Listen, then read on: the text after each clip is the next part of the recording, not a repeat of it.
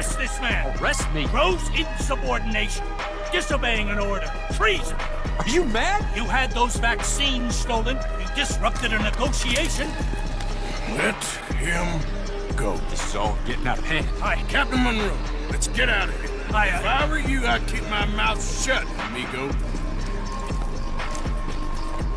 I don't want to kill this man, but shall.